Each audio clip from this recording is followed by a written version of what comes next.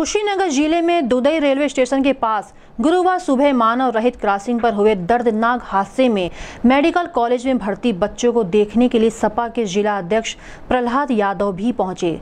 जिला अध्यक्ष ने मेडिकल कॉलेज में बच्चों के परिजनों से बात कर उन्हें ढांढस बंधाया और व्यवस्थाओं का जायजा लिया।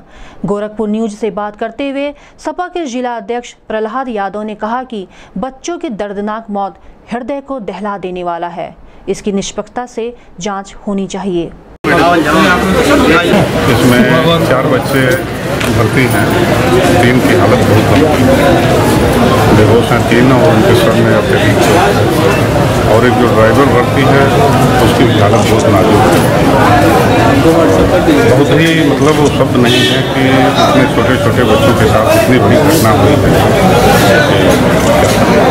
बहुत सरकार को चाहिए कि संवेदना के आधार पर, मानवीय संवेदनाओं के आधार पर, उनके परिजनों को पहले तो ईश्वर उस दुख को सहन करने की ताकत दें, जो बच्चे मर गए और जो बच्चे इतने पूरी तरह से घायल।